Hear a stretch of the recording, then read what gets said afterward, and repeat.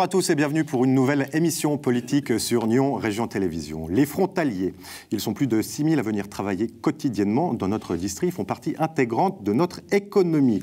Sont-ils bien accueillis par la population locale? Se sont-ils bien intégrés? Comment jonglent-ils avec les transports? Ce sont les questions que nous allons poser à nos trois invités euh, du jour. On commence par vous, vous êtes le régional de l'étape, Olivier Fantino. Bonsoir, bonjour plutôt.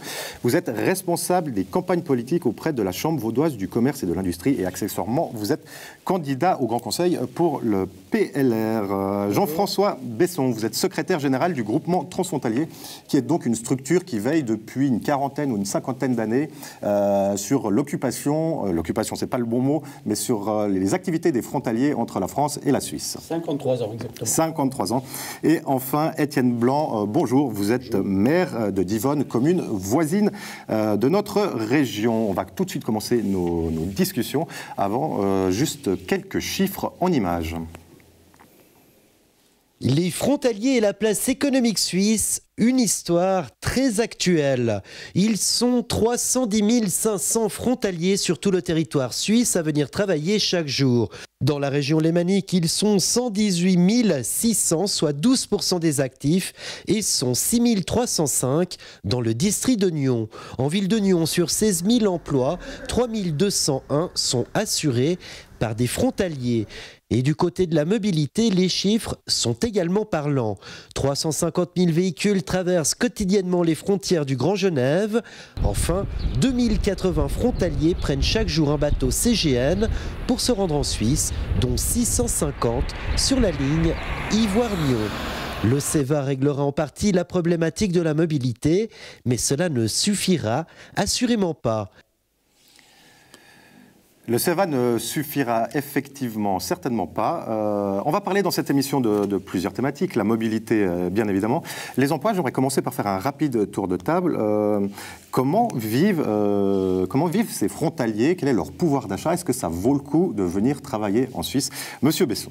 Alors ça, c'est la question que l'on me pose à chaque fois. Eh bien alors, écoutez. alors, c'est ça varie euh, d'abord en fonction des emplois, en fonction de la situation de la personne, si elle est, si elle est résidente déjà dans la région ou si elle, elle vient d'une autre région. Euh, il est évident que venir travailler en Suisse voisine, euh, c'est intéressant financièrement pour la plupart des travailleurs frontaliers. Pour des notions de salaire, évidemment. Pour des notions de, salaire et d'emploi. la première raison pour laquelle on vient travailler en Suisse, c'est d'abord l'emploi. Hein. après, effectivement. Donc le dynamisme économique, les places de travail en Suisse. Oui, tout à fait. Euh, après, euh, il, est, clair que le, différentiel de, change plus le différentiel de niveau de, salaire rend intéressant. Il faut quand même se méfier euh, parce qu'entre le brut et le net, une fois qu'on a enlevé aussi le, coût de la vie en zone frontalière, on peut avoir des déçus. Et il faut se méfier aussi du fait que le cours de change varie. Alors, c'est le risque du travailleur frontalier. Hein. Euh, il est évident que euh, le travailleur frontalier a un salaire, mais il a aussi un pouvoir d'achat. Et ce pouvoir d'achat, ben, il peut varier en fonction hein, de, l'évolution du, euh, du franc suisse. Pour l'instant, ces dernières années, il a été très favorable. Maintenant, rien ne dit que dans les années à venir, on peut avoir une inversion de tendance. Donc il y a toujours cette notion de risque qui est importante quand même pour le travailleur frontalier. Étienne Blanc, j'aimerais vous poser la même question. Alors vous, vous êtes euh, maire de Divonne, mais enfin vous connaissez bien la problématique. Ça vaut le coup, évidemment, pour un frontalier de venir travailler euh, en Suisse Bien sûr, parce que le salaire est beaucoup plus élevé qu'en France. Il y a des différences qui sont substantielles je regarde sur euh, des, certaines activités, par exemple sur l'industrie, euh, c'est 8 000 euros euh, par rapport à un salaire français qui, est, qui doit être en moyenne je parle des cadres, hein, qui doit être en moyenne à 3 ou 4. Donc on a des différences qui sont des différences substantielles. Puis le deuxième avantage... On pensait à nous à quelque chose de plus 20%. Là, vous nous parlez de, de, il y a, Il y a des secteurs d'activité sur lesquels on est à plus du double. Hein. C'est le cas, par exemple, de des, métiers autour de la santé. Euh, pour les infirmières spécialisées, vous êtes au triple dans certains domaines. Donc après, il faudrait euh, lisser ça. Mais il y a des secteurs sur lesquels il y a manifestement une, attractivité. Donc, ça Puis la deuxième chose qui est importante pour les, pour les frontaliers, c'est que la Suisse est un pays qui est très dynamique. Et c'est un pays dans lequel il y a beaucoup de création d'entreprises, il y a beaucoup de développement par rapport à la France, où il y a un certain essoufflement. Donc il y a des opportunités qui s'offrent, notamment pour les jeunes. Alors on reparlera évidemment de, comment le dynamisme économique euh, du Grand Genève favorise euh, la, venue euh, de ces frontaliers, et qui est nécessaire aussi pour cette économie du Grand Genève. Olivier Fantino, comment vous observez ça, vous, depuis la, Chambre vaudoise du commerce et de l'industrie? Ces frontaliers sont-ils indispensables à notre économie locale pour qu'elle tourne? Je pense que je vais rebondir sur ce que M. Blanc a dit. Effectivement, on a une région qui est dynamique, et notamment la région de la côte. On est très, très dynamique. On a un nombre d'entreprises et d'emplois beaucoup plus important que dans d'autres parties euh, du canton ou de la Suisse. Euh, et pourquoi?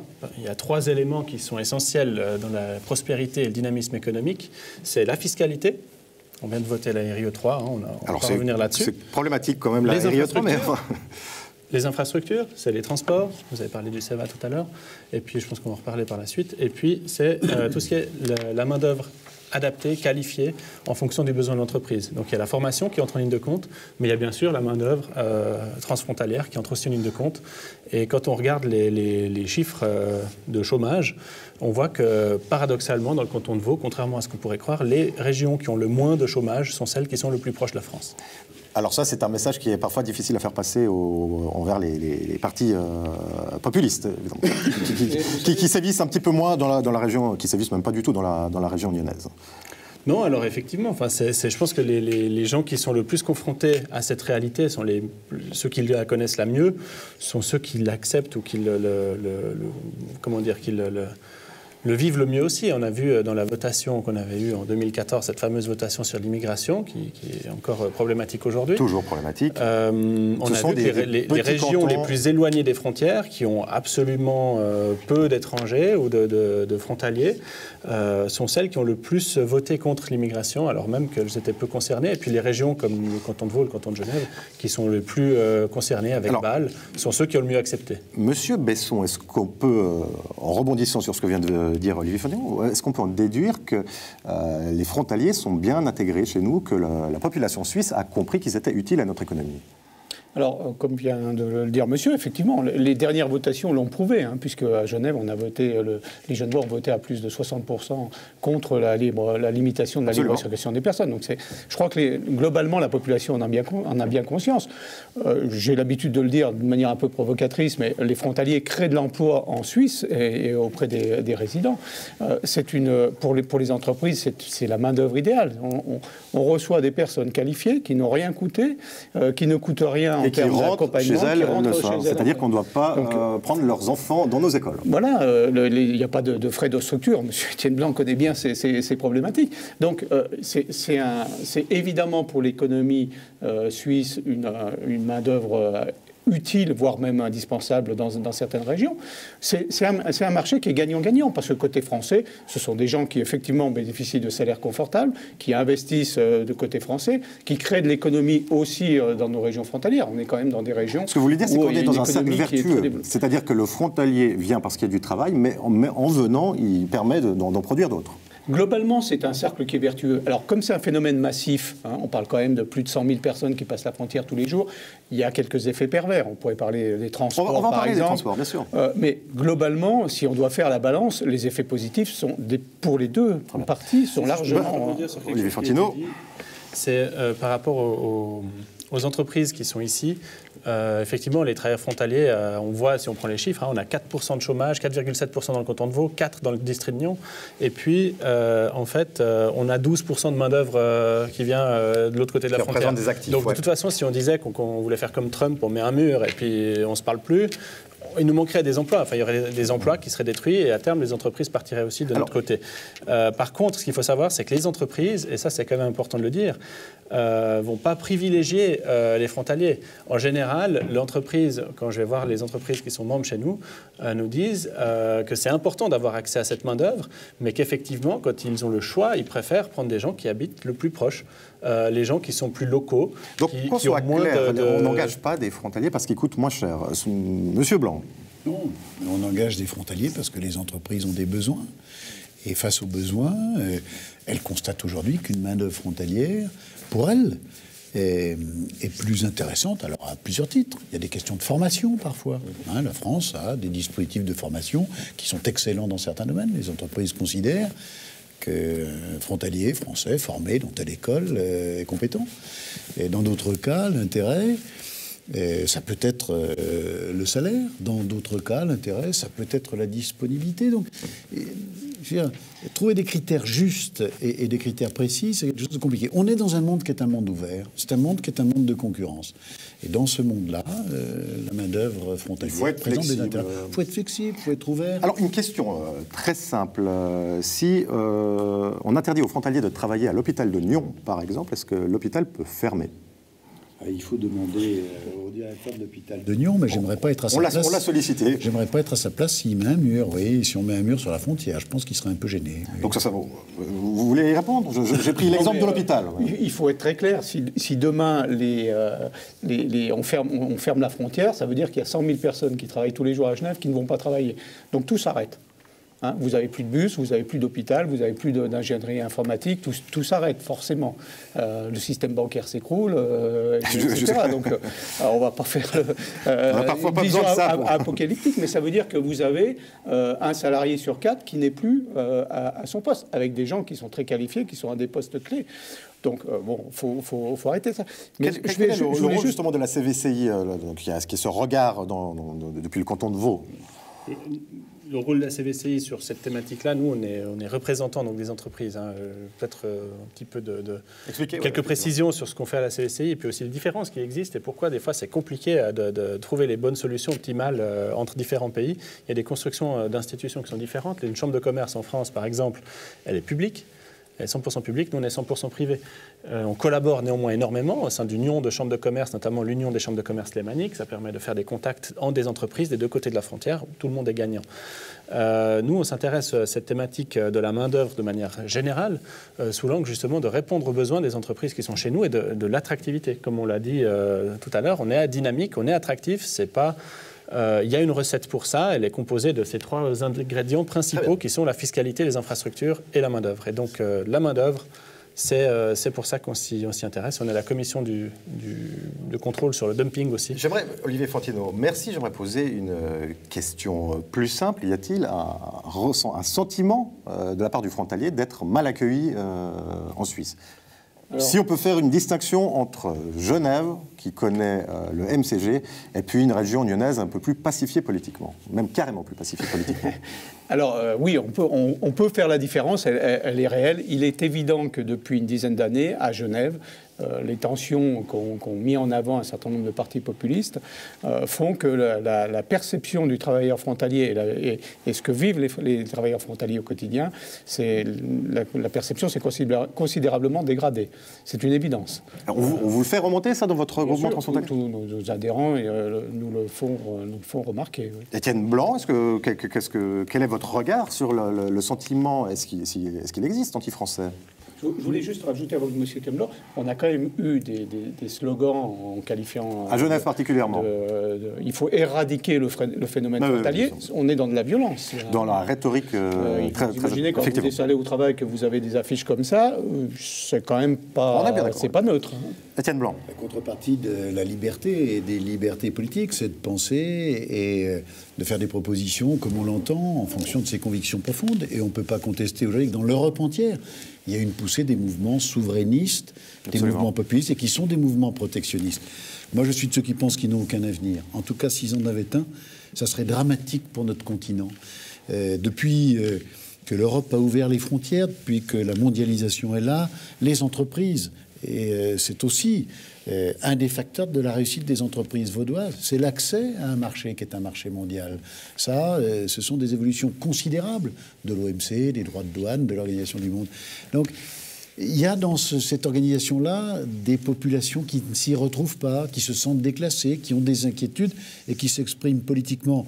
Moi, ce que je souhaite, c'est qu'en face de ce populisme, il y ait une réponse des partis politiques euh, et qu'on euh, dise. et l'Europe, euh, oui, on essaye de faire du didactisme ici ou là dans les partis politiques je trouve que suisses. Parfois, oui, on, est un peu, on manque un peu de force, de dynamique et de conviction sur ces sujets-là. C'est qu'il n'est pas toujours évident de, de montrer un discours parfois simpliste, populiste, simpliste, il n'est pas, pas toujours évident de, Le monde dans lequel nous vivons est un monde compliqué. Des réponses simples à un monde compliqué, ça ne marchera jamais. Très bien. Il faut faire une, il faut avoir une, véritable pédagogie, il faut trouver des exemples, il faut expliquer l'opportunité et l'intérêt d'un monde ouvert. Alors on l'a compris, euh, tous trois autour de cette table, vous êtes euh, pour le fait que l'économie doit s'ouvrir euh, au-delà des, frontières.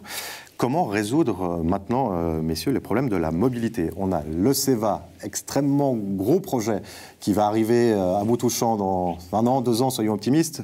Qu'est-ce qu'on peut faire d'autre? C'est une des problématiques clés de notre région. Hein. Les transports, ça fait des années que le groupement se bat justement pour développer les, transports collectifs. Alors c'est vrai qu'on va passer une étape hein, quand même entre le, le CEVA, le tramway sur, euh, sur j'espère euh, sur Saint-Genis, euh, la voie verte, la multiplication des lignes de bus. Hein. les bus à haut niveau de service marchent, marchent, très bien. Donc il faut, parce que c'est aussi un, un des éléments qui vient péjorer le, phénomène frontalier, qui donne une perception négative. C'est-à-dire les, bouchons sur l'autoroute, ah, le quand vous habitez, euh, Quand vous habitez le long de la frontière et que vous ne pouvez pas sortir de chez vous le matin parce qu'il y a 10 000 voitures qui passent, euh, on peut comprendre que les gens soient, soient, énervés et, ça crée de la tension. Et je pense qu'une des clés de l'avenir de, de notre région, c'est effectivement des, euh, outils de transport, des moyens de transport qui puissent fluidifier et permettre de se déplacer d'une manière beaucoup plus sereine. Est-ce que les parkings relais, je vous pose la question à vous, euh, Étienne Blanc, est-ce que les parkings relais sont, sont une solution? Qu'en est-il de celui de Divonne? C'est une des solutions. Celui qui, euh, à Divonne, est placé à la frontière avec Chavannes, est plein à craquer. Et on va d'ailleurs l'étendre dans les années qui viennent. Donc ça, c'est une, réussite, ça répond à une, attente Je pense que ce n'est pas une réponse très moderne. Parce que pour accéder au parking, on prend sa voiture. Donc je préfère, moi, développement des transports publics. Ah, il faut y aller par étapes, certainement. Oui, mais il faut accélérer. Alors, pour accélérer ceci, monsieur, est-ce qu'il faut justement avoir ces structures qui chapeautent un petit peu ces deux départements français, euh, deux cantons en Suisse et, puis deux pays? C'est bien le problème. Vous avez deux pays, vous avez deux départements, vous avez deux cantons, vous avez une région maintenant, vous avez un État. Chacun a des responsabilités qui sont euh, des responsabilités très éclatées, et c'est le problème. Moi, je suis, depuis euh, que je suis maire de Divonne, partisan de la création autour du Grand Genève. Je m'exprime dans le canton de Vaud avec une certaine modération sur le sujet, vous comprendrez pourquoi, mais je pense qu'à un moment, on ne peut pas éviter une réflexion sur le phénomène métropolitain. Dans tous les grands pays du monde se développent des métropoles, avec euh, chez nous une particularité, c'est que cette métropole, elle se développe si en je France. Si je comprends bien, il faut faire plus que le Grand Genève non, je pense qu'il faut affirmer le Grand Genève, il faut lui donner des responsabilités nouvelles, Et notamment, politique. bien sûr, notamment dans le domaine des transports. Ceux qui pensent qu'il doit prendre des responsabilités supérieures. Donc, dans un premier temps, un vrai schéma de transport, mais un schéma qui se décline localement et, et concrètement. C'est depuis le Grand Genève qu'on doit avoir un schéma de tram, un schéma de transport par bus et un schéma routier. Et c'est comme ça qu'on arrivera à fédérer tous les partenaires.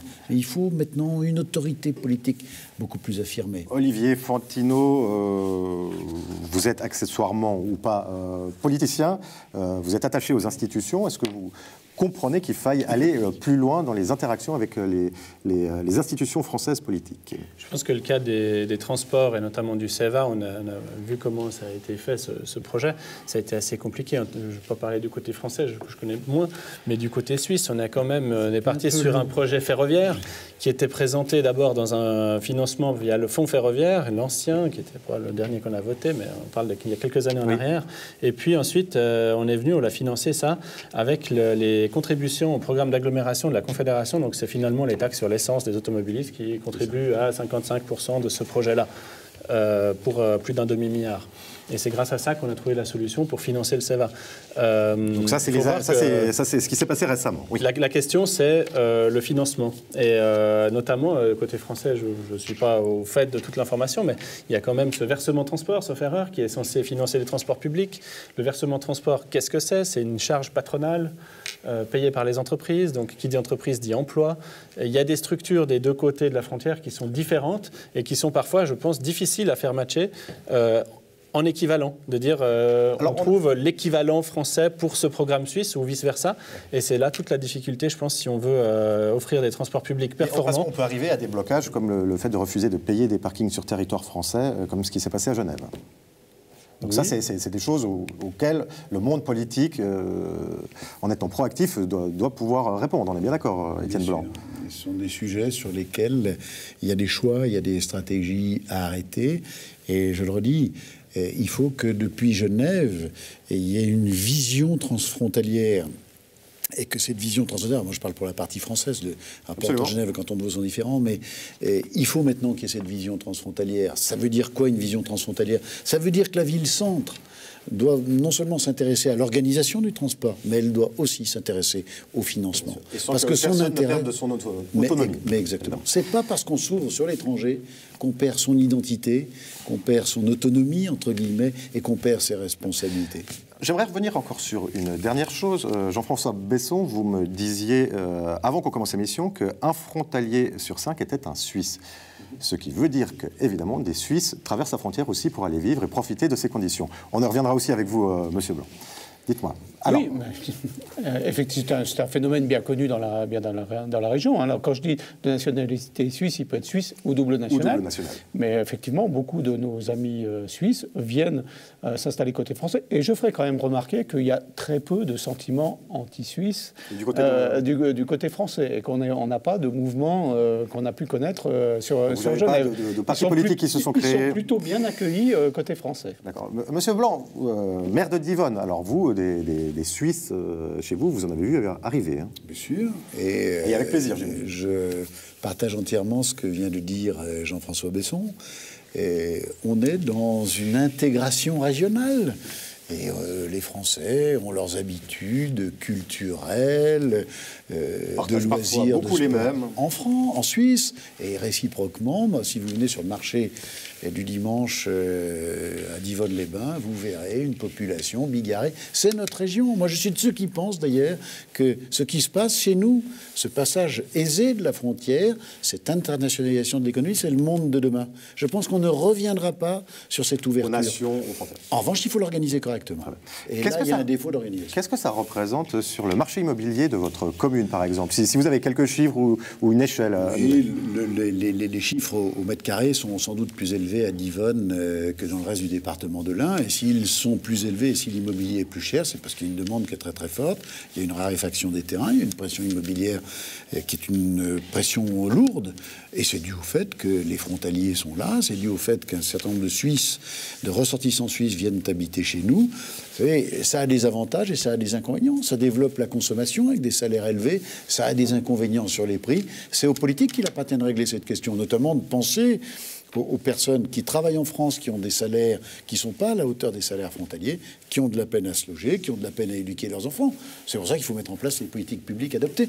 Mais très clairement, si on compare les avantages et les inconvénients, moi je préfère être sur une frontière avoir une pression foncière que d'être dans certains secteurs du territoire français où on ferme des maisons, où on ferme des villages. Dire, vous préférez avoir des, problèmes de riches que Je préfère avoir le trop-plein que le vide. Ah, oui. Pour inverser la phrase célèbre du général de Gaulle. On aura compris. Donc euh, tout le monde autour de cette table, je le répète encore une fois, regarde d'un œil euh, favorable la mixité euh, sur le marché économique des nationalités, du moins des, des, travailleurs français dans notre district. je voulais vous poser une dernière question, Étienne Blanc, qui, est un petit peu en dehors de, de ce débat. Qu'en est-il de votre château? Qui a pris feu il y a quelques semaines. Malheureusement, oui, on a eu un drame avec l'incendie du château qui a été détruit dans sa quasi-totalité. Donc ça y est, euh, les premiers travaux euh, de protection du bâtiment sont en cours. il y a un énorme travail des experts pour évaluer le coût de la reconstruction et j'espère que dès cette année 2017, euh, on verra les travaux pour qu'en 2019, le château de Divonne continue à rayonner, qu'on organise des spectacles, des fêtes de famille et que ça redevienne un élément Et qui signale, il y a beaucoup de Suisses qui venaient pour faire de la gastronomie. Donc euh, des Suisses qui vont au château d'Yvonne euh, et qui vont au marché le, dimanche matin, euh, des frontaliers qui viennent travailler chez nous, c'est une réalité, ça fait partie de notre économie, c'est pour ça qu'elle fonctionne aussi, du moins c'est ce, que défendent nos invités autour de la table. On arrive au terme de, de ce débat, on se retrouve la semaine prochaine pour une nouvelle émission politique. Merci, bonne semaine.